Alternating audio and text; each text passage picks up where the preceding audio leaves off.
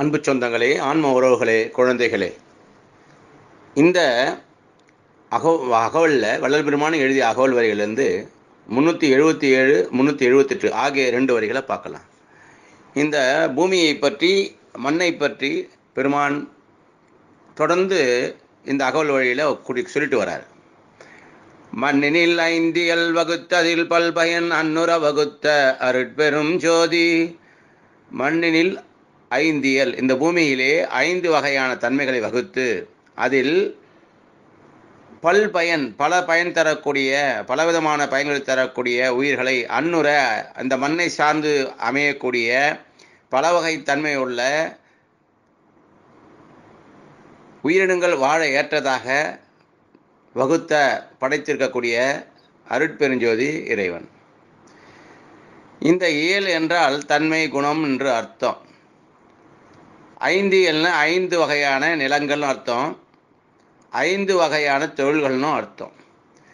இதில் தெளிவாக நம்ம பார்க்க போனோம்னா இந்த மண்ணினில் மலை இருக்குது அதை படைத்திருக்கிறார். அந்த மலைக்கேற்ற தாவர வகைகளையும் படைத்து அதில் வாழக்கூடிய மனிதனுக்கான வாழ்க்கையும் அமைத்து அதே போல் காட்டில் வாழக்கூடிய மனிதர்களையும் அவற்று அவர்களுக்குரிய கலாச்சாரத்தையும் எண்ணற்ற உயிர் உணவு வகைகளையும் உணவு வகைகளையும் பயிர்களையும் அதை உழுது பயிரிட்டு உணவாக்கிக் கொள்ளும் திறமையும் உள்ள மனிதர்களையும் படைத்து பாலைவனத்தையும் படைத்து கடலையும் படைத்து கடல் சார்ந்த மக்களையும் இப்போ சொல்லலை மீனவர்கள் சொல்லலை கடல் சார்ந்த மக்களையும் படைத்து அவர்கள் இந்த கடலில் கூடிய பொருள்களை உணவு வகைகளை தேடி கண்டுபிடித்து தனக்கு தனதாக்கிக் கொள்ளைய உரிமையும் கொடுத்திருக்கிறார் அருட்பெருஞ்சோதி இறைவன்.